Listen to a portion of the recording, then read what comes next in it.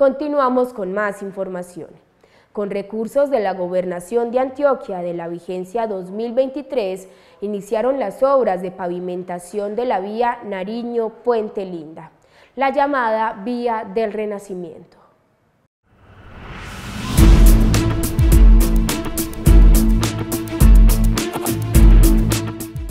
Por ahora, y gracias a la destinación del gobernador anterior, se inició la intervención de esta vía que comunica a Antioquia con Caldas.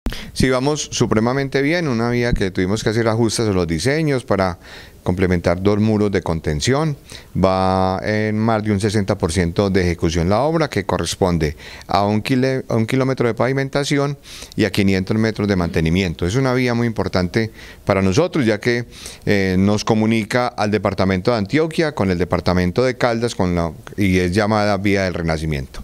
Bueno, lo empezamos en noviembre y ya estamos a punto de terminar. Sí, ya casi se termina. Esperamos que en un mes estemos ya terminando. La pavimentación realmente es ágil. Lo que nos tenía complicado es el ajuste de los diseños y los muros de contención que tuvimos que construir. Para la alcaldesa de Nariño, el inicio de esta obra marcará un cambio positivo para su municipio y la región.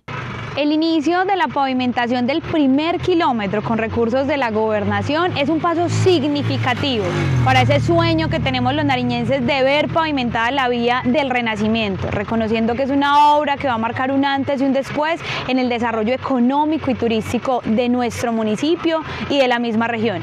Animamos a la gobernación de Antioquia para que sigamos articulando lo necesario y que podamos seguir garantizando que si bien viene otro contrato con recursos de la nación, pero que no tiene todo el alcance de la vía, podamos garantizar también desde la voluntad política con recursos de la gobernación darle conclusión final a este gran proyecto. Los habitantes de Nariño, por su parte, ven con ilusión que una promesa de tantos años por fin se haga realidad. Estamos muy, muy contentos con esta, este gran proyecto de la vía del renacimiento, pues porque nos va a traer desarrollo pues, nuestro municipio, nuestros campesinos, vamos a lucrarnos, en pocas palabras, pues de todo este turismo que va a haber, pues, nos estamos preparando muy positivamente con nosotros y, y nuestros pueblos vecinos para recibir a todas las personas que van a venir a pasear. Significa desarrollo para una región y lo que viene es muy importante. Yo decía en la reunión que tuvimos en estos días con el secretario de Infraestructura, es acompañar ese proceso